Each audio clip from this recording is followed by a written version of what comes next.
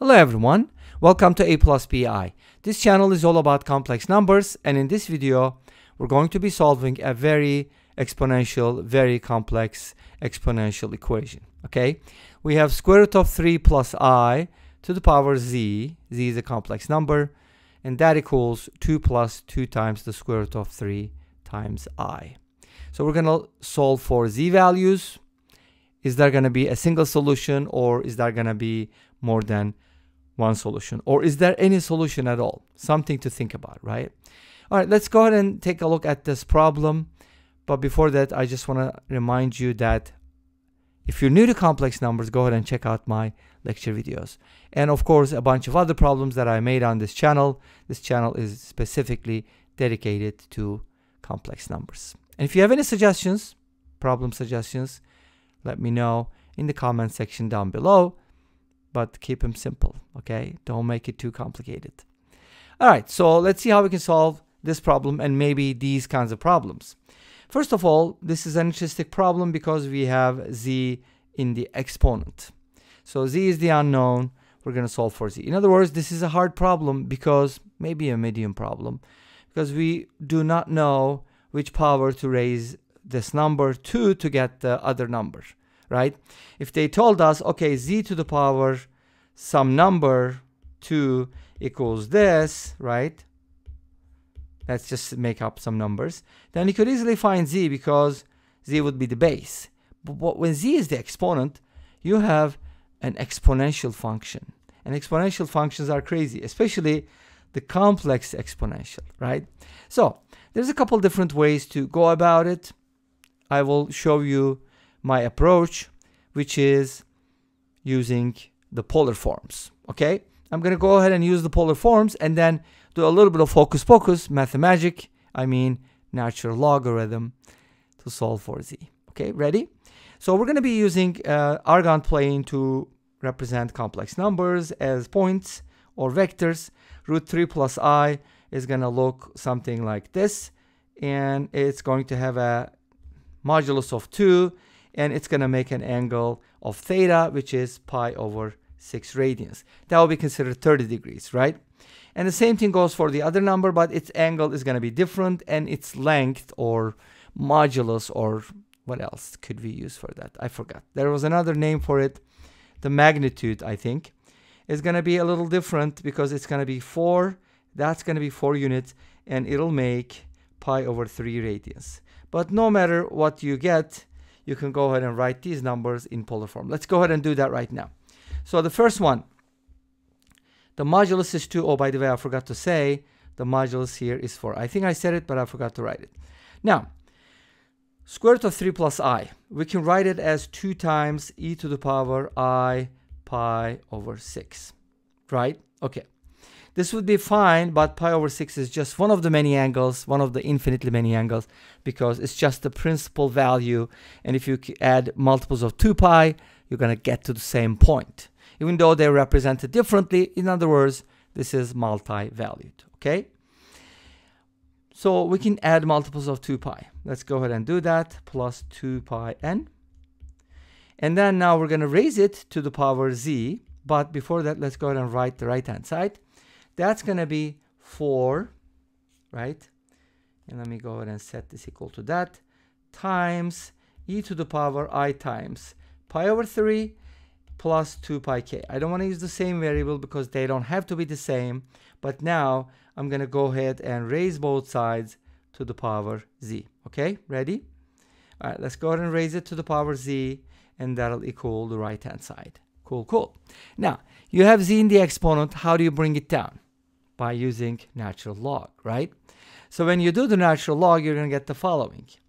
z times ln 2 times e to the power i times pi over 2 plus 2 pi n equals ln 4 times e to the power i times pi over 3 plus 2 pi k. Awesome. How do you ln a product?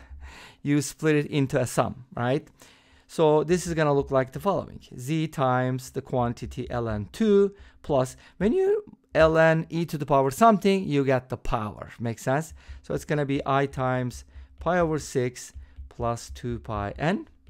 And the right hand side is just going to be something similar, ln 4 plus i times pi over 3 plus 2 pi k. By the way, I forgot to say about n and k are integers. Okay? Cool, cool. You can also look at it from a different perspective. What is the natural log of a complex number? In general, since we use z for another purpose, let's go ahead and use w. To take the natural log of a complex number, you can take the natural log of the modulus of the number and then add the argument of the complex number multiplied by i. And this gives you another complex number. Why? Because it's in the form a plus bi. Get the idea? Remember argument w and ln, absolute value of w, are both real numbers. In other words, these are real valued ln's. When I say ln2, I'm really talking about ln2. Okay? Cool, cool. Let's go ahead and now divide both sides by this to get z by itself. It's going to look like this. ln4 plus i times pi over 3 plus 2 pi k. And then that is divided by ln2 plus i times pi over 6 plus 2 pi n. Hmm. Do you see what I see? Well, first of all, you could go ahead and replace ln4 with ln2 squared, which can be written as 2 ln2, which is nice because it's a multiple of ln2. And then, what else can we do? Well, first of all, you got to realize that I can kind of simplify this if I get rid of the fractions, right? A little bit maybe, because I have an ln2 at the bottom. I could also do this, factor out a 2, but I don't want to deal with fractions, so I will probably just multiply the top and the bottom by 6, because 6 is the least common denominator. Make sense? So we're going to be getting from here the following. 12 ln 2 plus i times, since we're multiplying by 6, I kind of have to simplify things here, cross cancel. At the bottom, I'm going to be getting 6 ln 2 plus i times pi plus, and we multiply by 6, it's just going to be 12 again, right? So we're going to get to 12 twice because we have 2 pi. Awesome. Let's make it awesomer. How do we make that awesomer? I can go ahead and factor out a 2 in the numerator. That's going to give me 6 ln 2, which is kind of going to agree with what I have at the bottom. And then also the pi, addition of pi kind of makes sense too. The only thing that doesn't make sense is the multiples of uh, pi we're adding for the period. Uh, everything else looks fine. Okay, what am I, what am I going to do with this? Can I simplify this? No, because if you notice that the expressions inside the parentheses like this one and this expression at the bottom, they're not the same. k and n, as I mean, unless k is equal to 2n, which is not always the case.